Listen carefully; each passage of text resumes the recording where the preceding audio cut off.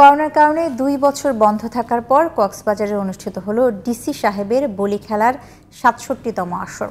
দেশের বিভিন্ন অঞ্চল থেকে এবার অংশ নেন তিনশো বলি। এর মধ্যে চারজন কুস্তি ফেডারেশনের নারী পুরুষ। বলি খেলার এবারের আয়োজনে কক্সবাজার প্রতিনিধি ওমর ফারুক রিপোর্ট জানাচ্ছেন সিরাজুল মনিরা কক্সবাজার বীরশ্রেষ্ঠ রুহুল আমিন স্টেডিয়ামে দুই দিনব্যাপী অনুষ্ঠিত হলো সাতষট্টিতম ডিসি সাহেবের বলি খেলা। প্রায় বিশ মিনিটের লড়াইয়ে কেউ কাউকে হারাতে না পারায় যুগ্ম চ্যাম্পিয়ন হিসেবে বাংলাদেশের কুস্তি ফেডারেশনের লিটন বিশ্বাস ও উখিয়ার নূর মোহাম্মদ বলির নাম ঘোষণা করা হয়। দ্বিতীয় ফলাফলেও যৌথ চ্যাম্পিয়ন হয়েছেন মহেশখালীর মোহাম্মদ হোসেন ও কুস্তি ফেডারেশনের আনোয়ার হোসেন। তবে এককভাবে তৃতীয় স্থান অধিকার করেন মহেশখালী শাহাবুদ্দিন। মহিলা ইভেন্টে বাংলাদেশ পুলিশের ফাতেমা বেগমকে হারিয়ে চ্যাম্পিয়ন হয়েছেন বাংলাদেশ সেনাবাহিনীর প্রীতি রায়।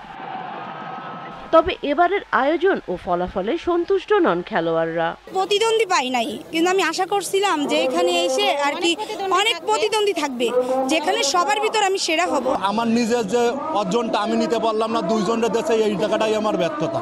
গ্রাম বাংলার ঐতিহ্যবাহী বলি খেলার প্রশিক্ষণ সহ সার্বিক উন্নয়নে কাজ চলছে বলে জানান এ সংসদ সদস্য। তিনশো ষাট জন বলি অংশগ্রহণ করতে যাচ্ছে। তাতে আমার মনে হচ্ছে এই খেলা হারিয়ে যায়নি এবং কক্সবাজারের ঐতিহ্য বলি খেলা। আমি আমি মাননীয় প্রধানমন্ত্রীকে জানাব বাংলাদেশে জাতীয়ভাবে যাতে এই খেলার আয়োজন করা হয়। Seraju Monira GTV news. অসুস্থ হয়ে হাসপাতালে ভর্তি হয়েছেন সমাজ কল্যাণ মন্ত্রী ও লালমনিরহাট দুই আসনের সংসদ সদস্য নুরুজ্জামান আহমেদ। বর্তমানে তিনি রংপুর মেডিকেল কলেজ হাসপাতালের সিসিইউ বিভাগে ভর্তি থাকলেও এয়ার অ্যাম্বুলেন্সে মন্ত্রীকে ঢাকার ইউনাইটেড হাসপাতালে নেওয়ার প্রস্তুতি চলছে বলে পরিবারের পক্ষ থেকে জানানো হয়েছে। তবে তিনি এখন অনেকটাই সুস্থ বলে জানিয়েছেন তার ছেলে রাকিবুজ্জামান।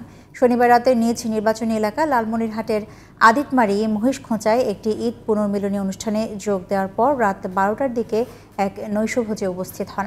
সেখানে বুকে ব্যথা অনুভব করলে তাকে রংপুর মেডিকেলে ভর্তি করা হয়। চিকিৎসকরা করোনারি কেয়ার ইউনিট সিসিইউতে রেখে চিকিৎসা দেওয়া হচ্ছে। যেহেতু তার বয়স হয়েছে আর যেহেতু একটু ডিসকমফোর্ট ফিল করছিলেন, আমরা তাকে না নিয়ে আমরা সরাসরি রংপুরে নিয়ে এসেছি। আর ওনার তো একটু ডায়াবেটিস সমস্যা রয়েছে, উনি তো ডায়াবেটিসের পেশেন্ট এমনি আল্লাহ রহমত, আপনাদের দোয়ায় মানে ভালো আছেন।